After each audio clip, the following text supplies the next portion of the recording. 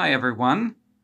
I've decided to send my old cyclone separator to retirement, or rather to the trash probably, because it turned out it's too small. I uh, bought a proper shop vac a while ago, hooked up the cyclone, and found out that it's too powerful, meaning that it would suck up the dust before it could spin and end up in the bucket down here. So it pretty much rendered the Cyclone useless. So at first I bought myself a commercial one on eBay, very cheap, not much bigger than this, and thought maybe it's just a technical problem of having a poor design, but it turned out that didn't do anything. The dust would still just end up in a shop vac. So I thought maybe it's just about the size. And um, yeah, so I decided to build a bigger one.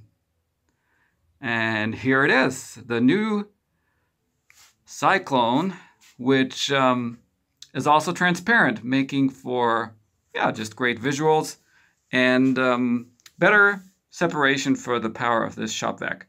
I also have uh, bigger storage and yeah, it's also easier to disassemble.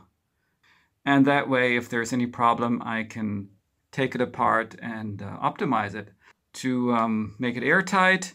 I also found out that this plastic is too thin. It's this type of plastic sheet, which is fairly flexible. So I had to stiffen it up with this ring here, which I um, hot glue welded on. At first I'd only put glue on the upper side, which was not enough. It uh, caved in in one end, and so I put hot glue on the other side as well. And now it seems to hold well, even if I plug up the airflow and create lots of suction. And it seems to work fine.